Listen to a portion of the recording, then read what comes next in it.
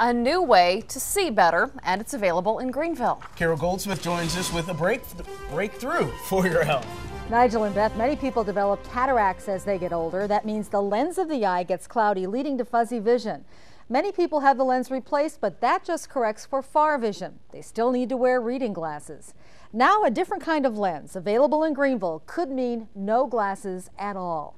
It offers a way to see the big picture, including the details for your health. How are you today?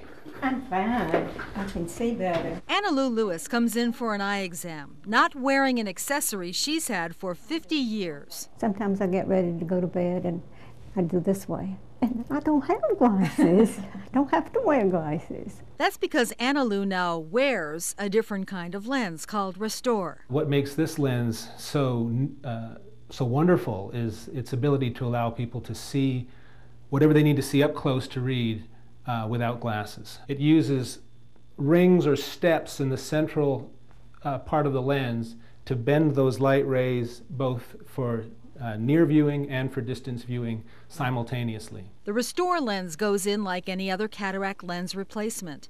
First, a tiny incision is made in the eye. Ultrasound liquefies the cataract and it's pulled out.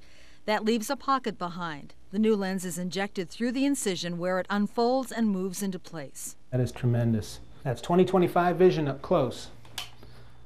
And that's without any glasses. That's great. For Anna Lou, who had cataracts in both eyes, it reopened the world. Cataracts not only blur vision, they can make what you see look murky, yellowish. Now, with these new lens implants, the world looks clear, near, and far.